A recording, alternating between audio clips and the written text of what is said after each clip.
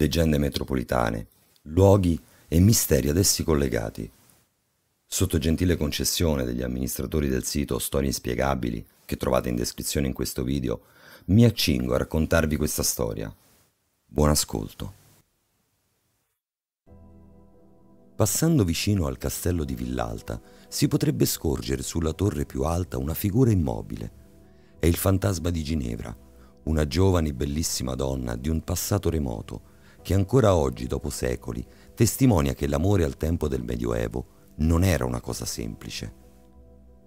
Ginevra, figlia del signore di Strassoldo, era una giovane e bellissima ragazza e come era usanza tra i nobili del Medioevo, era stata promessa sposa a Federico di Cuccagna, un signore la cui famiglia era legata al patriarca di Aquileia.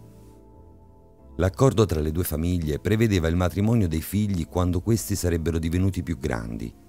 Gli anni passarono velocemente, ma quando arrivò il tempo delle nozze, Ginevra si innamorò del conte Odorico di Villalta, che aveva conosciuto per caso poco tempo prima d'un ballo.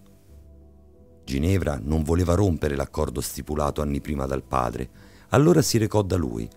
Aprì il suo cuore e gli raccontò dell'amore che la legava al giovane Odorico il signore di Strassoldo, a sua volta, per il bene che voleva la figlia, decise di acconsentire al matrimonio con il conte ed in questo modo infranse il patto con i Cuccagna.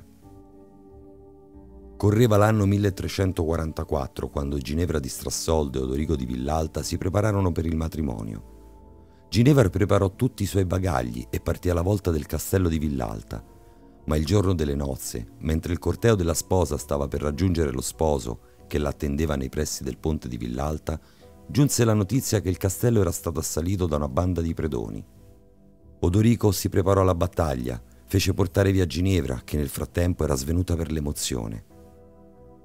Quando la fanciulla rinvenne all'interno del castello di Villalta, vide di fronte a sé il suo ex promesso sposo, il cavaliere Federico di Cuccagna, che furioso per l'affronto subito, tentava di rapirla.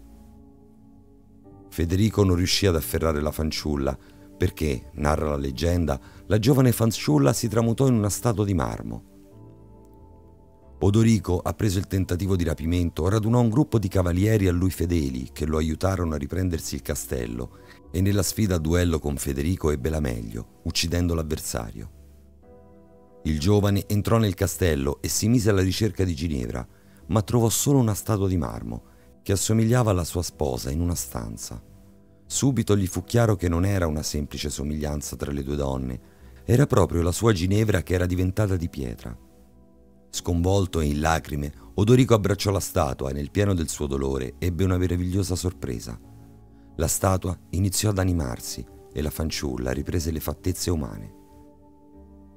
In una favola questo sarebbe un degno lieto fine, ma purtroppo questo non lo è e per i due giovani non era previsto il classico finale e vissero felici e contenti.